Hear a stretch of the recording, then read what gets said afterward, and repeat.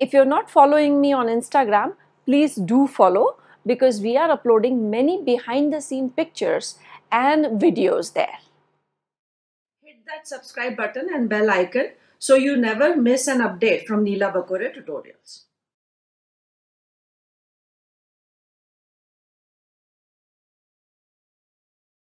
Polio is one very important viral disease. And in this part, we will be discussing about this disease, that is polio. It is also technically known as poliomyelitis. Normally, it affects younger children, affects younger children normally. And that is why the immunization program i'm sure you've heard of pulse polio program. That is uh, to give the polio vaccine to children under 5 so this is the purpose because the infection is predominantly seen in younger age. And because of this polio is also known as as it affects. Polio is also called infantile paralysis Now this uh, polio or poliomyelitis, it is a neurotrophic disease.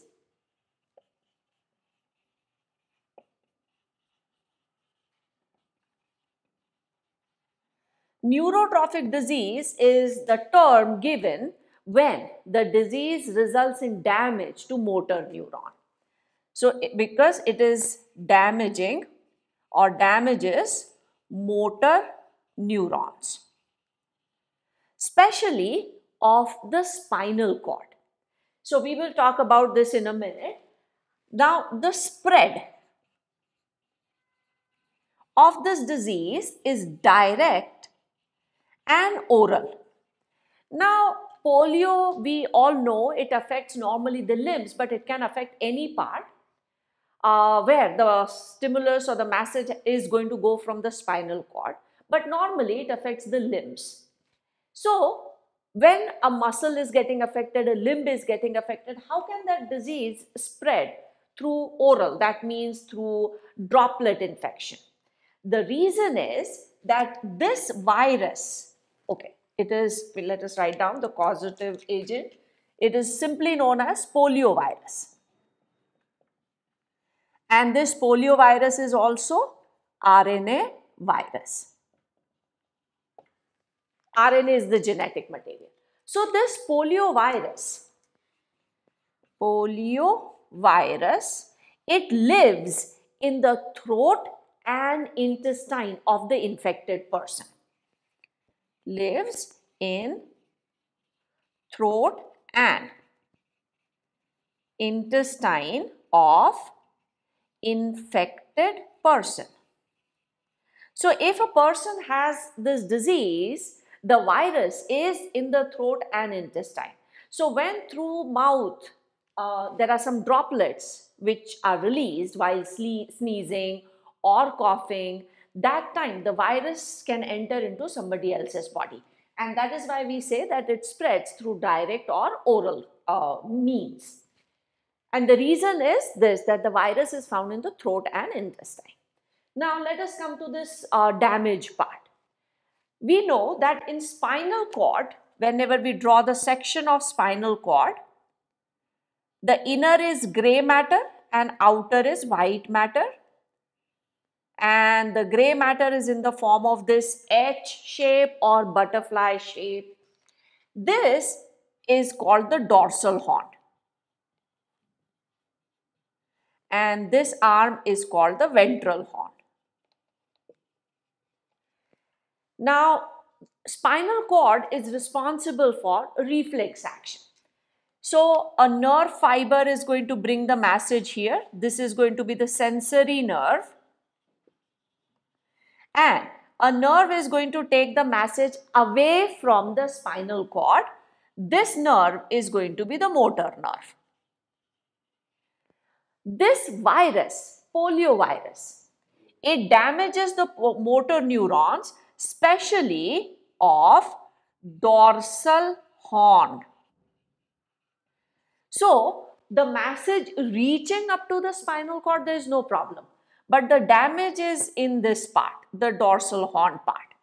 So, if the neurons are damaged in the dorsal horn, there will be no message generated because motor nerve is going to take the message from the spinal cord to the muscle. And as muscles do not receive any kind of message or stimulus from CNS or from spinal cord, they do not work. And when the muscle doesn't work, it is like uh, paralysis. And that is why it is called infant, uh, infantile paralysis. And if a muscle is not working for a very long period of time, it shows atrophy or it shrinks. And that is why the limb which is affected is thinner as compared to the normal limb. Sometimes both the limbs get affected, sometimes only one limb gets affected. It totally depends on where exactly the damage is. So, sensory nerve is working properly, but the motor nerve is not bringing any message to the muscle. And that is why the muscle is not working. And we know whenever the muscle doesn't work, we call it paralysis. So, this is how the damage is caused. A pulse polio program we were just talking about that it was a national immunization program.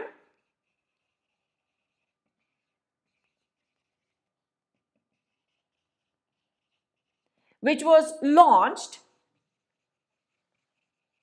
in December 1995 and the program was to provide the polio vaccine to every child who is below the age of 5. Provide vaccine to all children below 5 years of age. Now, if we are talking about the vaccine, we need to know which vaccine are we talking about.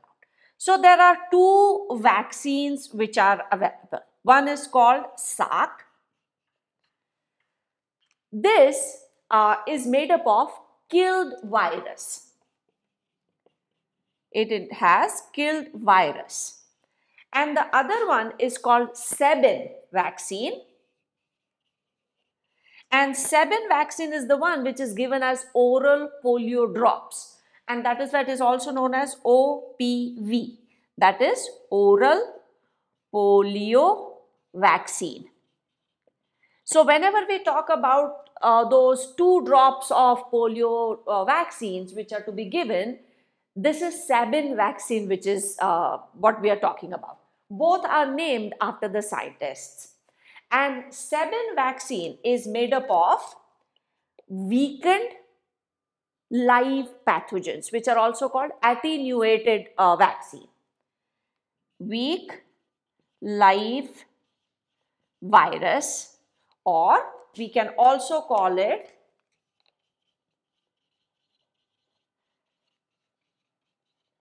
attenuated vaccine where the virus is not completely destroyed, it is weakened and that vaccine is given in the form of oral polio drops. So oral polio vaccine is Sabin and the one which contains the killed virus that is Salk. So these two vaccines are available and they are very very effective. Now because of this national uh, immunization program, this program was called Pulse Polio Program.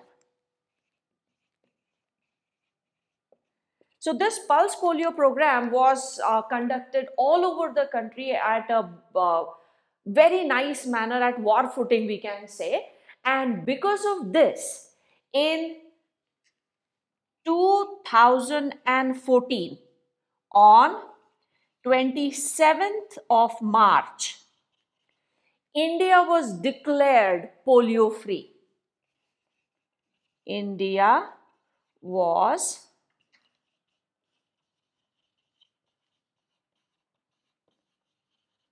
by WHO.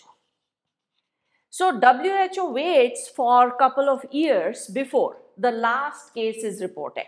So in 2014, India was declared polio free. That means after 2012, there was no case reported, but WHO waits for a couple of years to uh, make sure that this disease is not there and there are no new cases which are being reported. And after two years, then WHO declares any country free of a particular disease. So these dates are very important.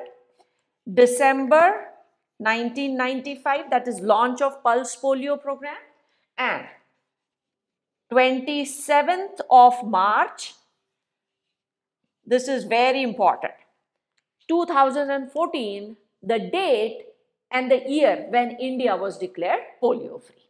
So now we know what kind of a virus it is, what is the damage that uh, is caused by it, and there are very effective vaccines which are available, very efficient vaccines, and the national uh, immunization program was successful to the level that we have been successful in eradicating that disease from our country.